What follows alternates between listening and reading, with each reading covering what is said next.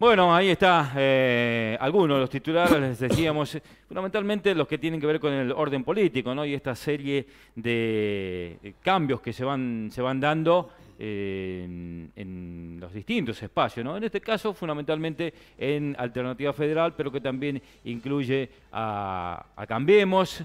Bueno, y vamos a tener que seguir hablando de todo esto seguramente hasta fin de año, ¿no? porque se van a ir sucediendo hechos, acontecimientos de cara a las próximas elecciones aquí en la República Argentina. Señor Raúl Ferrán, ¿cómo le va? Buenas ¿Qué noches. tal? ¿Cómo anda usted? ¿Bien? Muy bien, ¿usted qué dice? Bueno, sorprendido por lo de La Baña particularmente, hace 24 horas. ¿Cuándo anunció que rompía con, Sí, ayer. Alternativa Claro? Ayer, ayer, ayer, particularmente.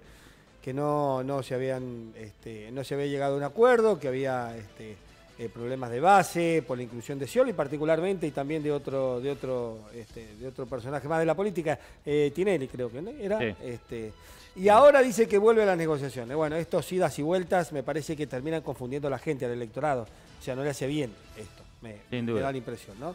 O se define por, una, por un camino, cosa que la gente sepa que va por ese camino, distinto a Alternativa Federal, o se une a Alternativa Federal y se suma con los gobernadores, que hoy por hoy son eh, opositores al gobierno, entre comillas, porque este, tanto el gobernador de Córdoba Schiaretti como Ortubey hoy en la reunión dijeron que tienen muchos, muchos acuerdos, muchas coincidencias con el gobierno de Cambiemos, así que son opositores entre comillas, no, no entiendo cómo, cómo sería. Hoy por hoy, el, el único partido de oposición es Unidad Ciudadana con el Partido Justicialista, que hoy casualmente se han reunido, bueno, ya lo vas a comentar vos, se han reunido con 13 partidos de oposición para conformar el frente electoral. Así es. sí. Por ahí viene la, la real oposición. Sí, ya lo vamos a, lo vamos a discutir, eh, Raúl, porque tenemos eh, visitas gratas, visitas Bueno, aquí en el canal. eh, sí. antes de ir a la visita, quiero decirte que vamos a hablar con Raúl Tello. Tenemos Sí. el registro del secretario de Medio Ambiente de la provincia porque se vienen dos congresos realmente muy importantes. En San Juan en el mes de junio y además la inauguración de un complejo medioambiental que es único en Argentina y en Sudamérica. Después lo, lo Bueno, vamos a comentar no. este tema. Muy bien. Eh, está en nuestros estudios, decía una grata visita, porque la tenemos acá la licenciada Celina Puebla. Eh, ¿Cómo le va, licenciada? ¿Cómo les va, queridos Un amigos? gusto Hace recibirla. un tiempo que nos conocemos, Sí, sí. así que muchas gracias por haberme invitado. Hemos sido alumnos de, de en la facultad. claro, Así que claro. eh, nos une. No, y además eh, la profesora tuvo una destacada este, participación en, en los mundiales de hockey sobre patines, en, ¿no? los Como dos, en los dos internacionales y en algunos, en los dos mundiales Sí. y en algunos Y en internacionales. algunos internacionales los últimos como dos mundiales. responsable y coordinadora de prensa, de también prensa, de comunicación.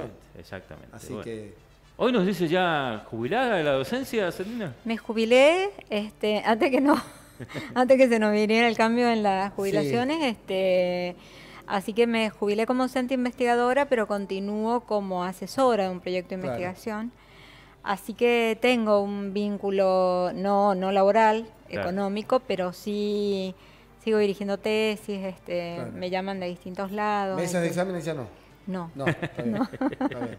ni presentar planillas, ni... Nada de eso, claro. No, no, pero bueno, este, sie- siempre estoy vinculada. Siempre vinculada. Bueno, eh, Celina, la convocatoria ha sido fundamentalmente para que charlemos, hablemos un poquito y para interiorizar más a la gente acerca de esto que está tan de moda actualmente, que ha irrumpido en las, en las comunicaciones, eh, eh, aprovechando toda la potencia que tiene Internet, que son las, las redes sociales, ¿no? Este, lo que es Facebook, lo que es Instagram, eh, Twitter, todo este tipo de, de cosas, ¿no? Esa convergencia, y aparte los, los diarios online Claro. eh, de, de un mismo transmedia. Yo personalmente respondo a una corriente en general que tratamos de no hablar de redes sociales, sino que son redes digitales de usos sociales. Bien. Porque no dejan de ser tecnologías, ¿no?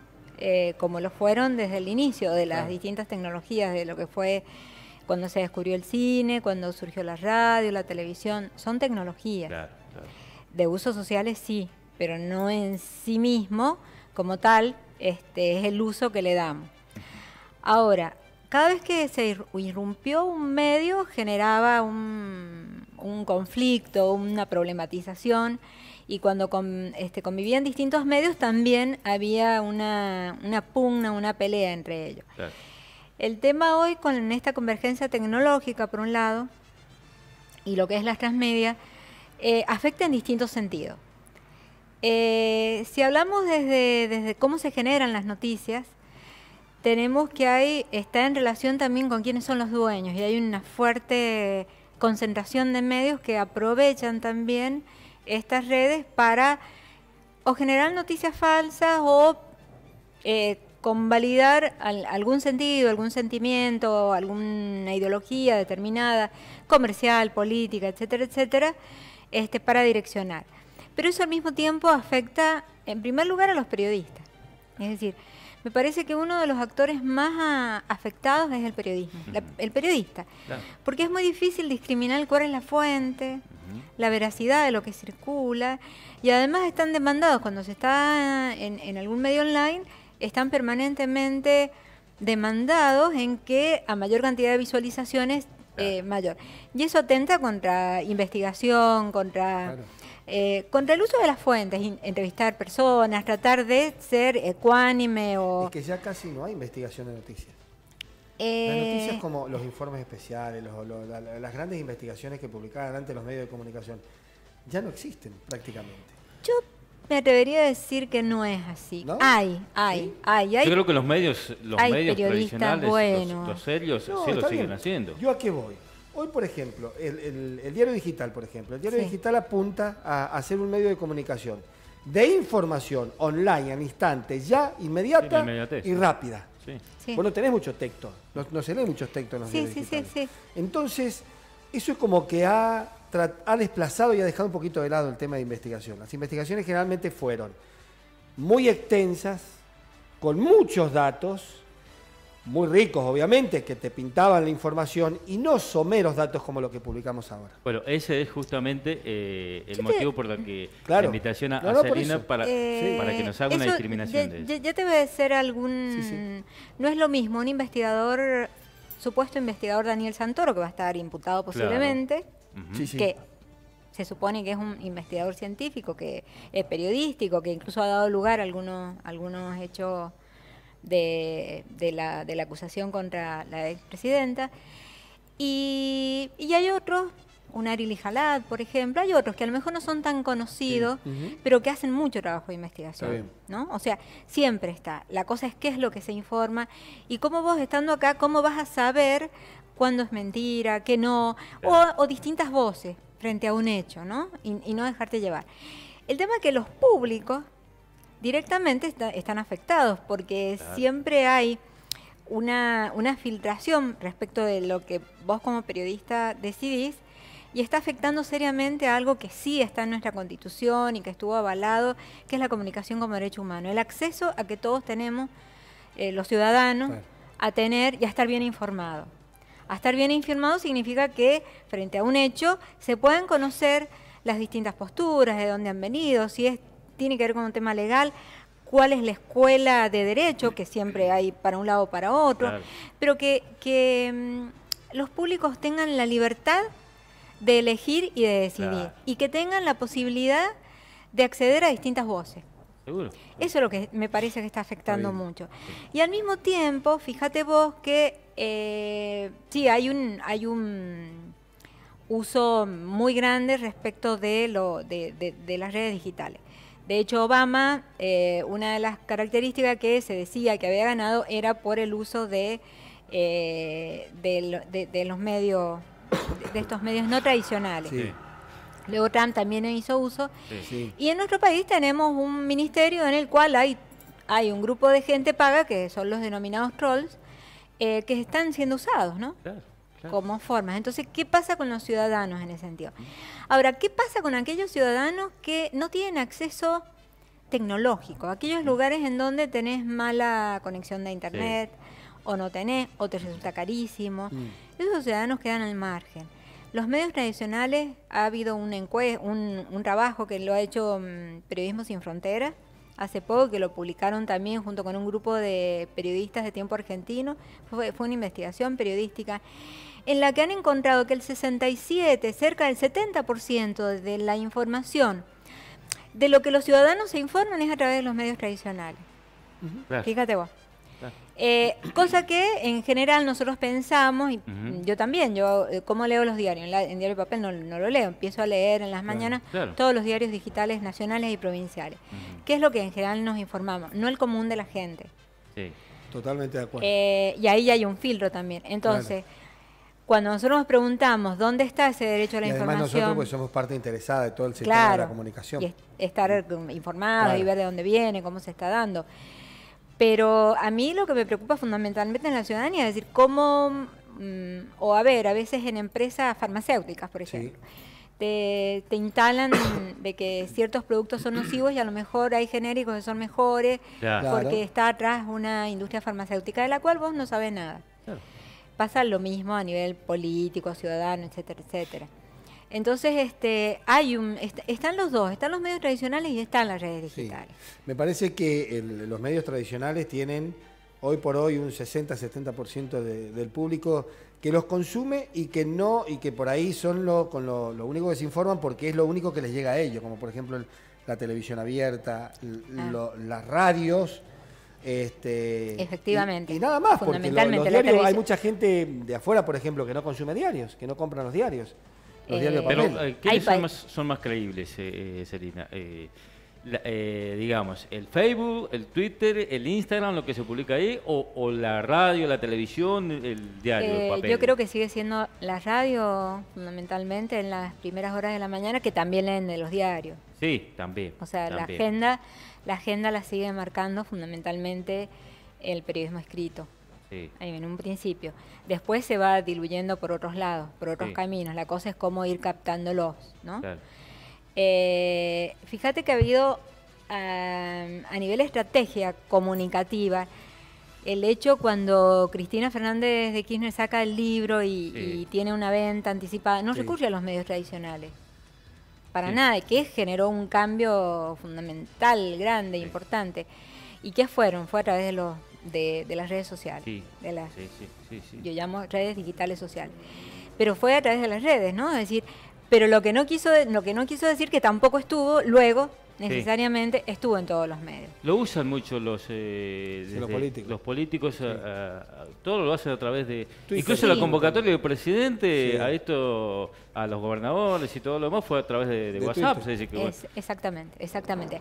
Ahora, eh, también tiene que ver con los- el sector social y el sector etario. El Facebook, los- la gente joven cada vez lo usa menos o no lo usa. Mm. sí, Usan mucho más Instagram y en todo caso Twitter u otras nuevas Sí. que van surgiendo. sí.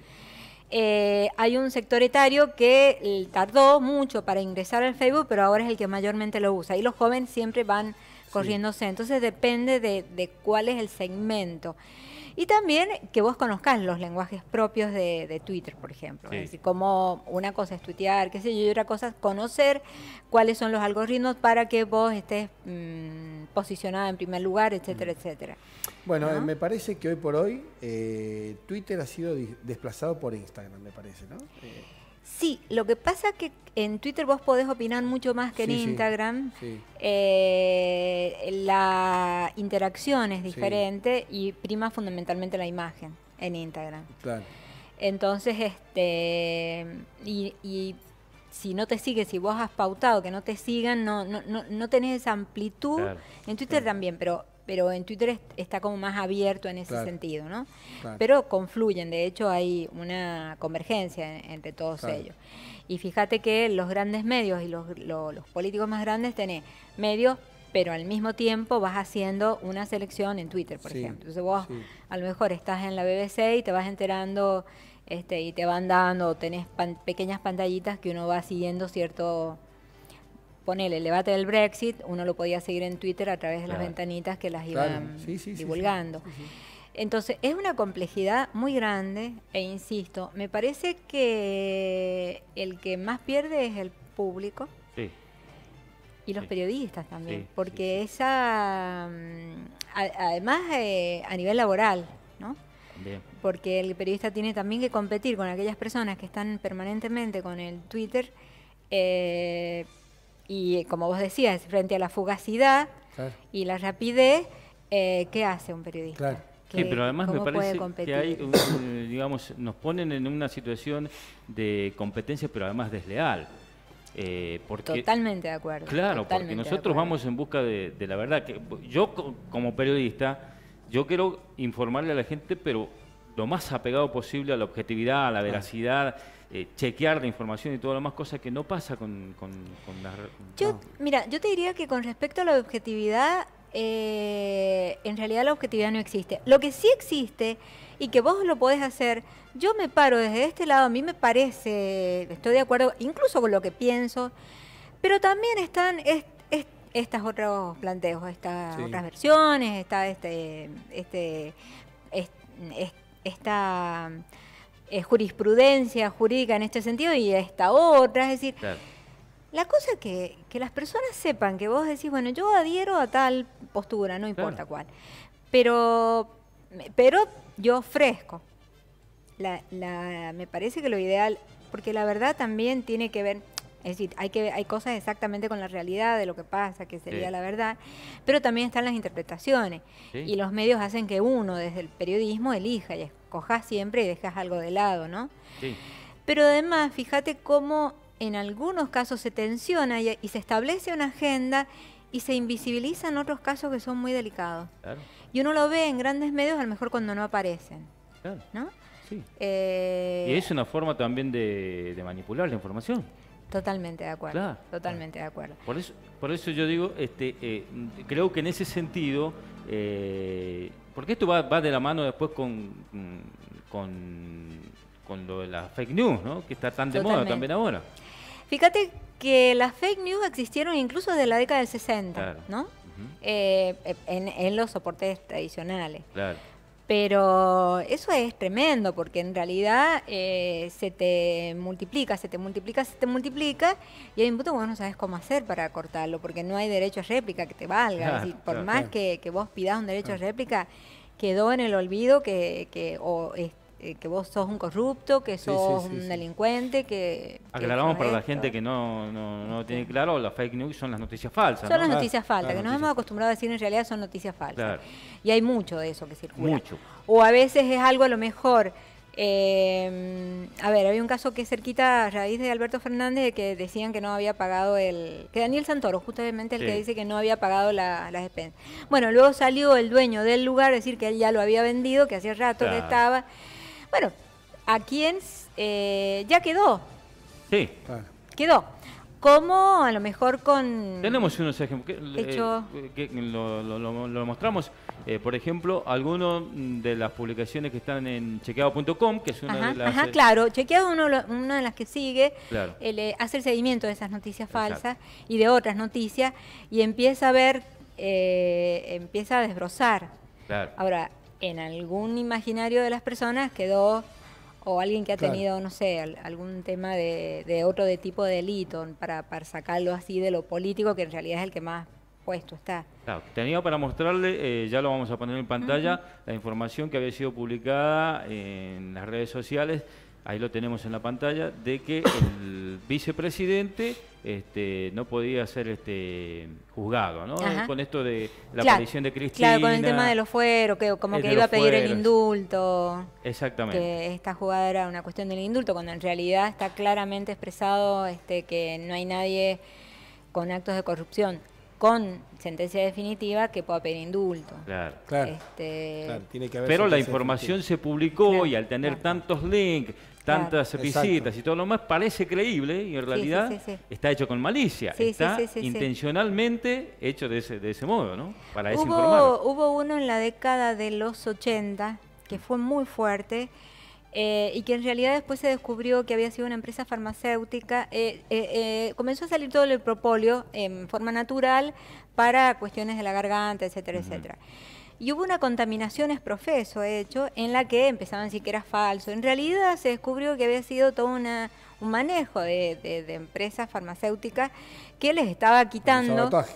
Exactamente, Un hubo un sabotaje. sabotaje porque el propóleo era muy barato. Claro. Bueno, después eso lo lograron, pero le hicieron un daño tremendo. Sí, Claro. Fue tremendo. Y bueno, sí. después mucha gente dejó de consumir propóleo, inclusive eh, actualmente ya casi como que no se consume. No, no, ahora viene, ahora hay caramelos con propóleo, hay, hay toda una corriente de naturista, de, de consumir eh, productos más naturales en la naturaleza, y el propóleo es muy accesible. Uno de los que más, claro. Este, Vos te comprás los caramelitos de propóleo y no le estoy haciendo la, la, la Claro. publicidad para La nada. publicidad. Y, y te calman la garganta, es Claro. decir, y te sale muchísimo más barato que a lo mejor otro tipo de remedio. Ahora, uno Vemos, piensa... eh, espera, Sí. Raúl, que creo que vea Sí, Selina, sí, sí, la sí. licenciada, eh, otra de las informaciones, otros los ejemplos para que la gente lo, lo entienda, ¿no?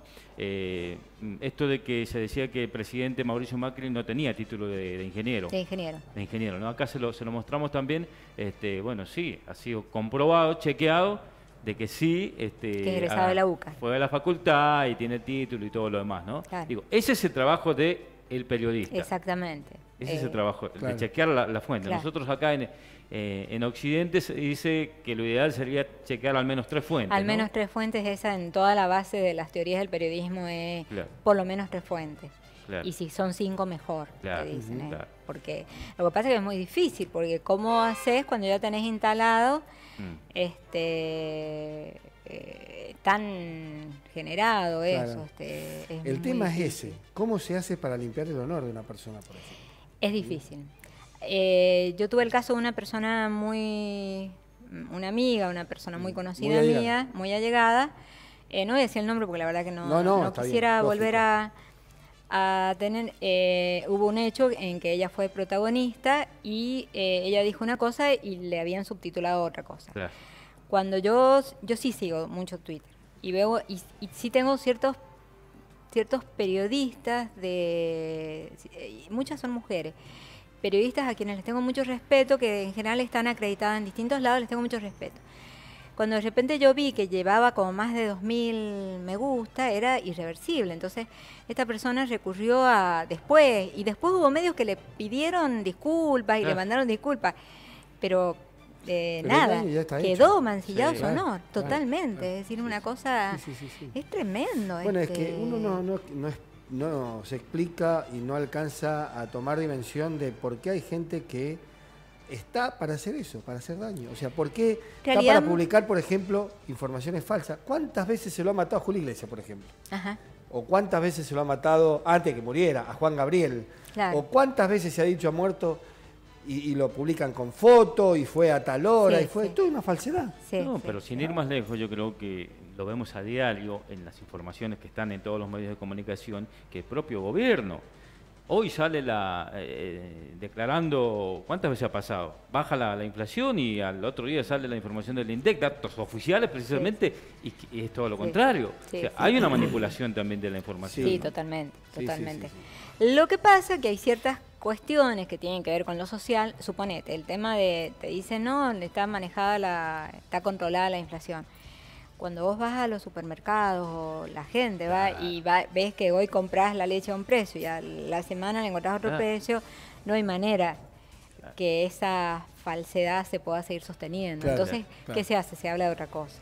Sí. Sí, sí, sí. pero hay un punto que tampoco la yo estoy en con yo, yo no estoy a favor de esto de decir que todos los medios te atontan hay un hay una asimetría en la que sí. en los medios en general sí hay una tendencia en que te instalan imágenes etcétera etcétera pero hay un punto que la gente también como que se satura este Sí, lo dijo el otro no día eh, en el congreso que hubo en, en Córdoba, la creo que fue la directora de- del país de España, que bueno, con el tema de las redes sociales, que estamos bombardeados de, de, Sí. de- de información. Claro. Lo que no significa de que eso sea... Noticia. Claro. Noticia noticia. de información, que a lo mejor, porque, a ver, en el periodismo hay noticias que son, y hechos noticiables, que es Claro. de urgencia, que, que Sí. como periodista eh, se debe seleccionar. Pero hay otras informaciones que es importantes. Sale una nueva ley, Claro. eh, hay ciertas cuestiones a nivel salud, por ejemplo, vos que estás en el caso, sí, es decir, sí. que es necesario que la gente sepa. Me acuerdo en este momento lo que era la vacuna contra la rubiola, que los varones no se querían Exacto. este, vacunar porque qué sé yo y en realidad es necesario, es obligatorio. Claro. Es decir, ese tipo de información que a la sociedad le hace muy bien porque es- supuesto, estás claro. garantizando en salud, en educación, en otros temas, no es solamente lo noticiable sino que también lo que pasa es que está bien toda esta exacerbación de, de lo morboso a veces o de la cosa hoy de lo político. Somos un país que, que además somos muy politizados. El Sí. país está, sí, eh, sí, no ocurre así en, en otros países. En otros países este, esta cosa en la que debatimos, eh, se eligen hasta directores técnicos a nivel del fútbol en los cafés, etcétera, etcétera. Hay otros países que no es así. No, es así. Y, el, poder que tienen los medios de comunicación tampoco es así en otros países. O sea, no sé, no el, sé. El, poder de los medios de comunicación sí, es, es en todos los países. Lo que quiero decir es, por ejemplo, la repetición permanente de las informaciones. Ah, bueno, eso sí. ¿ah? la repetición constante. Hay informaciones que a nosotros, por ejemplo, a la gente del interior no nos interesa. Claro. Y son exclusivamente de Capital Federal. Y vos sabés que se repite, se repite, que nosotros lo terminamos publicando en primera plana acá. Exactamente, entonces te enterás más de, no sé, del corte que hubo, no sé, en Callao y Corrientes y, acá no tenés idea de que a lo mejor a tres cuadras donde vos estás viviendo está pasando a lo mejor una situación de calle mucho peor o igual que a lo mejor lo que sucede en la cava u otras cosas. Eh, Pero en eso también tenemos mucho que ver nosotros. Yo siempre lo digo cuando, cuando por ejemplo, leemos los titulares de, los diarios y los diarios porteños titulan eh, en la ciudad la reta dijo tal cosa. Eh, la ciudad de Cava, eh, exactamente, no es la única ciudad del país.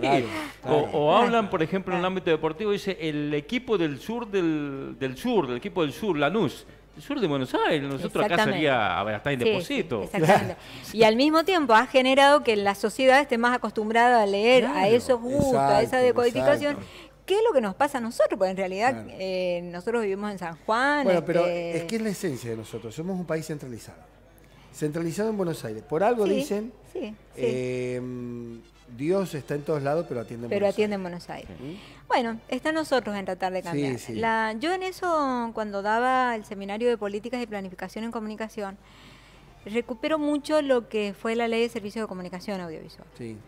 La recupero porque trataba, y aparte pretendía eh, preservar a, los actores periodistas de locales cuando te exigía que hubiese producción local, producción de periodismo, publicidad, fomentar los artistas locales, cosa que de a poco el público también tuviera otro gusto y estuviera acostumbrado a, consumir otro tipo de esto que solamente nosotros conocemos la estética de los medios de Buenos Aires.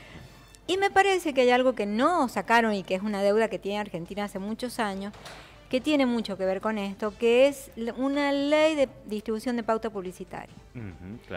Eh, si nosotros miramos los números del dinero que eh, van a parar de las arcas oficiales a, los medios más grandes, tanto a nivel nacional, si lo vemos acá, acá no es nunca lo mismo, pero a, nivel de los medios nacionales es increíble es increíble. Bueno, eso no es democrático, hay que encontrar otras formas. más repartido el tema. Totalmente, totalmente. Tampoco darle a, medios que solamente subsisten por eso y tenés, no sé, con páginas que tienen pocas visualizaciones. Pero hay que encontrar otra, otra forma y eso no nos hemos podido sentar a debatir. Eh, que tiene mucho que ver con esto, porque si estuviera distribuida la pauta también habría un control, no tanta injerencia por parte de los medios. Bien, eh, ahora con el tema, eh, decíamos hace un ratito, el tema político se, se, maneja muchísimo, y más en esta época, en época de, elecciones, ¿no? Tiene una gran incidencia los medios de comunicación, de hecho usted lo mencionaba, el propio Obama, el propio Donald Trump han basado sus estrategias eh, comunicaciones a, través de eso, ¿no? Y les ha dado muy buenos resultados, ¿no? Y bueno, el otro día leía que Marcos Peña, como una de las estrategias fundamentales, va a ser usar el WhatsApp. Y que tienen los datos a través de todos los grupos de WhatsApp de la familia. Entonces, eh, ni siquiera pasa por el filtro de, medios de manera que uno pueda debatir, sino que te llega a una cuestión muy personal, ¿no? Eh, que forma parte de eso. Son estrategias, son estrategias de campaña, este, las podemos discutir o no, pero son a tal punto están es, esa consolidación. Y llega mucho más a WhatsApp que Twitter, Facebook e Instagram. Mucho más. Porque WhatsApp lo usamos, sí, todo. Claro, lo usamos todo y es de comunicación directa. Exactamente. Directa con la persona. Exactamente. Entonces eh, rompe, eh, va más a lo emocional. Entonces le dicen tal, no sé, hizo tal espantosa y vos te enloqueces porque decís, guau, qué asco.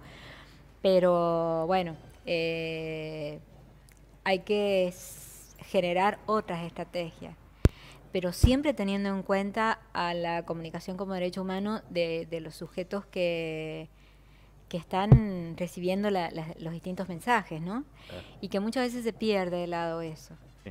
Y esto que vos decías, bueno, cuando yo emito un mensaje, eh, vos hablás, a mí me interesa ser, tratar de ser objetivo, Claro, claro. tratar de ser ecuánime, tratar de, de ver, eh, pero a veces en la premura no te lo permite. Y Sí. también las condiciones laborales. Sí, también. Lo online, lo que sale por internet, está poco legislado, ¿no? No está legislado, No está. porque yo te voy a decir, es, es todo un debate que hay en el mundo. Mm. ¿Quién va a controlar? ¿Quién controla? Y los organismos de comunicación, lo que era en, en su momento el Confer, ahora es este... Sí, eh, pero el confer era, orga- eh, si no, había una censura o, Claro. no. Claro, O sea, ¿con qué criterio? claro. Cuando vos tenés hoy un gobierno que en realidad utiliza, utiliza los trolls, eh, bueno, ¿con qué criterio? Ah. Eh, y está muy debatido, no hay un acuerdo en el mundo. Controlás la red cuando en realidad hay gente que con una, mm, una pequeña máquina y, y un grupo de gente genera otro tipo de noticias. Claro, lógico. Eh, yo no sé si ustedes se acuerdan esta, mm, esta House of Cards.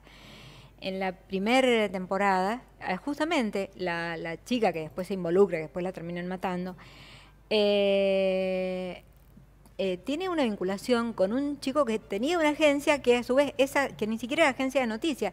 Ellos trabajaban y, y le aportaban informaciones a distintos medios que a ellos les permitía investigar sin estar demandados por alguien. ¿Eso lo vas a limitar? Claro. ¿Cuál es el límite? ¿Quién lo pone el límite? ahí está el tema. claro. Lo que Ni pasa es que siquiera por bueno, un entra, ente. entra tallar eh, algo que es muy problemático, ¿no? La veracidad de todo lo que se, se publica. Y el peligro de un totalitarismo. Y por de- otra parte, que si sale en internet y no se puede comprobar, no está penalizado. O sea No, que para vos- nada. Que, que, claro, uno puede publicar que fulana de tal es este, delincuente porque robó eh, tal cosa y después resulta que no tenés penalización por esa por ese agravio y esa falacia. No, no, claro, Entonces, sí, sí. eso es lo lamentable. Lo que pasa es que ahí hay, hay otra Que cosa las mentiras también. no, no se penalizan. Pero además, ¿sabes? En ese caso concreto, fíjate Sí. vos que esto tiene mucho que ver también con algo que está instalado, que desconocemos el artículo 18 de la Constitución, ¿no? O sea, nadie puede ser juzgado hasta Sí, que no tenga una sentencia previa, ni siquiera puede estar preso. Y sin embargo, vos, ¿qué es lo que te genera? Ah, Yo lo quiero ver preso, yo lo quiero ver... Dejando de lado algo que tiene que ver la propia justicia, los Claro. los, tiempos judiciales, claro. eh, que a veces nos aceleramos a juzgar y nos creemos jueces. Claro. Eh, y le estamos negando a la población la posibilidad de, de conocer y saber que en realidad hay procedimientos judiciales Claro. que tienen su tiempo, porque están las pruebas, están los Claro. derechos de la defensa, están los derechos de- del Estado, etcétera, etcétera. Entonces, ¿cómo podés penalizar? Después, lo que sí está es que si a vos te han... Bueno, le pasó a la Nata y a...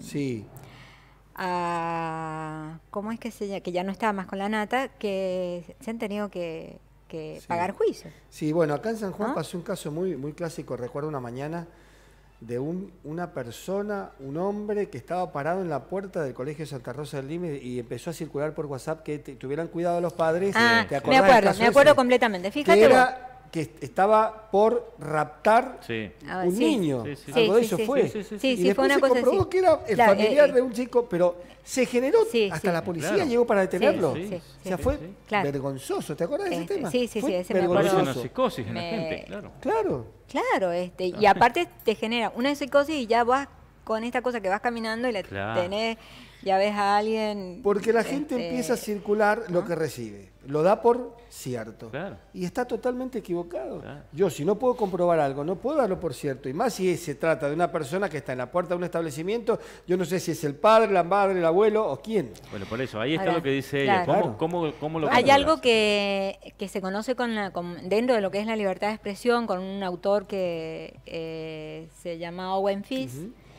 Y él dice que está el derecho a la libertad de expresión, pero con responsabilidades ulteriores. Es decir, cuando yo me paro frente a una cámara o escribo, tengo que asumir también, en, algunos, en algunos países eso está legislado, eh, las responsabilidades ulteriores uno se tiene que hacer cargo Seguro, por seguro. este tipo de daño, ¿no? Seguro. Entonces eso sí puede generar a que eh, a esa persona puede haber, eh, porque tenés acceso a la parte tecnológica de dónde ha venido, Sí, sí. es- eso lo podés hacer. Y Sí. hay una instancia penal en la que se puede penar. Y lo, lo que me quedé pensando, lo que era el CONFER y en la nueva, eh, bueno, en la Ley de Servicios de Comunicación Audiovisual, que con los decretos de necesidad de urgencia los modificaron, que era la AFCA y ahora es Telenacom, Claro. está solamente referido al espacio de lo que es la radio y televisión y, y- y, Sí. con este gobierno incluyeron eso. Pues en realidad el espacio que es por debajo del espectro radioeléctrico es patrimonio de la humanidad. Y solamente los estados son quienes tienen la facultad de decidir cómo se usa ese espacio. Claro. Por eso está, pero está en, en, reali- en realidad más que nada a cómo se distribuyen, eh, está referido a eso, no al resto, Claro. no al resto. claro. Eh, me parece que por ahí este, sería bueno tratar de difundir más Sí. desde el derecho cuáles son los derechos que nos asisten como ciudadanos y también desde los medios. Pero yo el tema del control de la de internet, eh, yo me resisto porque es un, es un arma de doble filo. Claro. Eh, y además no te garantiza nada que siempre hay algún tipo de filtración. claro. Acordate en la guerra de Bush con Irak que solamente la CNN Sí. era la que estaba permitido mm, transmitir, se filtraba gracias al uso de Internet y teníamos otro tipo de información. En la guerra de Malvinas en Argentina. Sí. Acordate que escuchábamos que íbamos ganando, de repente nos enteramos, pero si tenías acceso a otra tecnología, te enterabas que en los medios de Estados Unidos Claro. decían, no están ganando la guerra. Mm. Eh, Los medios chilenos. Claro. O en los medios O chilenos. Los medios chilenos. Eh, entonces, es, eh, en, en procesos democráticos yo mm, me resisto. Claro, Es, es motivo de debate claro. por este uso que en realidad te Claro. pueden cancelar y, y no, y te pueden prohibir Sí, sí, la sí, libre sí. expresión. Sí, sí, sí, sí. Totalmente Ahora, ante este panorama, licenciado, ya para ir terminando, Sí. porque se nos va el tiempo, Sí, sí, sí. Este, eh, ante toda esta situación que, que hemos descrito y todo lo demás, desde su punto de vista, ¿cuánto le, le aportan al destinatario final del, de- del mensaje, a la gente común, eh, tanta proliferación de, canales de información, digamos? ¿Qué pregunta? No, no tengo. mm, Bueno, hay un grupo de investigación ahora que, eh, que están, que es un chico que es investigador de CONICET, eh, que es Esteban Zunino, que es mendocino, junto con Natalia Bruguete, que están haciendo un. En realidad, ellos lo que están haciendo es un estudio de todo el país, de algo que se llama, desde lo que se publica, en, tanto en medios digitales como en los, los tradicionales y en los nuevos, Claro. eh, ellos trabajan un, un sector de agenda, cómo se frente a un tema, cómo se trabaja. No hay hechos totalmente estudios respecto de, excepto este que yo les hablaba de Periodistas Sin Frontera, respecto de, de, de cómo cons- cuánto consumen. Lo que no está es cómo se consume y cuánto es le que le queda o no. Hasta ahora lo que se ha visto, que en gran medida tienen una importancia muy importante, eh, valga la redundancia. Sí. Y esto sí tiene mucho que ver el tema de la pauta. Claro. ¿no? Si esa pauta estuviera distribuida de otra manera, ¿Mm? estaría más segmentada y más diversificada la posibilidad de acceso. Por eso, y esto Estados Unidos lo tiene muy bien y otros países, eh, se considera que la concentración monopólica de los medios de comunicación atenta contra la eh, libertad de, de expresión y el Claro. derecho a la comunicación. Claro. Claro, por eso la pauta se usa como una herramienta para manejar los medios de comunicación y como una herramienta de, de comunicación Eh, indirecta, digamos. ¿no? exactamente, Eh, exactamente. A ver, yo le doy más plata al medio que tiene más llegada para manejar. Exactamente. Este, nunca van a recibir. En todo el mundo, ¿eh? Sí, no, sí, es, sí, eh, no, no es que sea, es en todo el mundo, es- eso es algo que, que está. Excepto, mm, a ver, Donald Trump no tiene el apoyo de la prensa y, y pagan y etcétera, Claro. etcétera, pero tienen otra historia, tienen otra forma, Sí, sí, or- sí. otra característica y cada país tiene su, sus idiosincrasias. Nosotros tenemos otra. En Argentina es así. No hay estudios que te puedan decir, eh, porque tampoco hay una relación causa-efecto, que te puedan decir concretamente cuánto es lo que asumen. Ahora, cuando vos decís, bueno, no sé, hay ciertas cuestiones que se dicen y se... Esta descalificación contra el extranjero, por ejemplo. Cuando nosotros vivimos de un país eh, de la inmigración. Ah, Eh, y es cierto, de repente hace unos años y San Juan, eh, es, mm, nosotros ahora vemos eh, gente de otros países, ¿no? Claro. De, de Senegal, Sí, sí, de sí, Nigeria, de, este, de venezolanos. Eh, a veces se hace tanto hincapié contra lo- el extranjero y Claro, esa estigmatización lleva a que eh, eso se vaya, Claro. eh, vaya quedando, vaya quedando. Eh, contra eso no hay estudios así tan, tan Claro. pormenorizados, pero sí uno de los temas es la pauta, la distribución de la pauta totalmente, porque vos tenés otra variedad. claro. Pasó Bien. durante muchos años sobre los judíos. Claro. El, el estigma que se, que se armó a nivel social sobre este, los judíos fue tremendo. Y contra Sí. los alemanes también. contra los alemanes también, Eh, es decir, claro. Licenciada, eh, a modo así de, de reflexión final, este, desde su punto de vista, ¿qué nos aconsejaría a nosotros que tenemos esta responsabilidad de, de comunicar y un consejo también para el, para el oyente, el, el que ve, el televidente, el que escucha, el que lee? Yo creo que Consejo de docente para dos Claro. exalumnos. eh, desde este lado, Sí. eh, no dejar nunca de leer todo lo que podamos leer. Claro. Todo. Todos los medios de todas las, de todas las variaciones que pueda haber. Eh, tener referentes que son serios eh, y empezar a decodificarlo. Cada uno toma la, Claro. la opinión.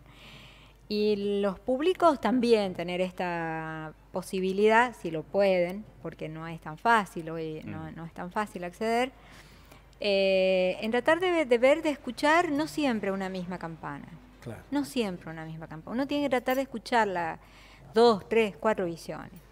Eh, es cierto que a uno le gusta a lo mejor escuchar a más a un medio que el otro, pero eh, uno tiene que adquirir esto, como- porque eso es la capacidad crítica, Claro, es decir, claro, bueno, claro. yo estoy de acuerdo, a mí me gusta, pero hay ciertas cosas que puedo estar en, en disenso. Claro, lógico. O es muy Eh, común que la gente se identifique con tal o cual periodista. También, La identificación. también. Y eso Este, impide ser más plural en la búsqueda de la información. Claro, pero fíjate que a la larga la fugacidad, eh, fíjate, yo recién hablaba de la nata. La nata fue uno de los primeros que impuso una, una- un lenguaje televisivo, que vos te tenés que acordar, eres más joven, me parece, eh, que estaba casero, que estaba los domingos en la noche, y rompió hasta con, con la, mm, con el lenguaje televisivo y te, te hacía la cámara así, te cambiaba los puntos Claro, de vista, claro, etcétera, sí, etcétera. sí, sí. ¿no? Después él ha cambiado y hoy, fíjate, después de toda la influencia que tuvo a nivel político, hoy no logra subir su rating. Mm, Claro. O sea, quiere decir que la gente no, ya no le cree. claro. Claro, exacto, exacto. La Y de haber sido en distintos momentos, un- en uno en una postura Sí, sí, política, en otros en otra, de haber sido uno de los influencers Claro. más importantes. Totalmente. Hoy la gente no lo sigue. Exacto. Entonces, este, a la larga, hay un aprendizaje social Sí. que la ciudadanía es sabia. Eh, no es el aquí, ya y ahora. Eso me parece que uno tiene que tener esa paciencia también. Y no hay, no hay dioses, este, sí, nos encantarán algunos más que otros, pero son seres humanos Exacto, también. Entonces total. uno no tiene que endiosar tanto al, al periodista, eso. Eso. Muy bien, licenciada, ha sido muy muy rico este, todo lo que nos ha dejado, lo que hemos comentado. Por supuesto que seguiríamos Sí, Sí, nos para apasiona mucho el más. tema, claro. Claro. Y seguramente a la gente también le, le gusta mucho este tema. A mí personalmente me apasiona Sí. y lo seguiría y sigo creyendo en el periodismo. Mm. Yo eh, sigo creyendo en, en la vocación periodística, en aquellos hombres y mujeres que a lo mejor no son tan visibles y tan estrellas, Ujú.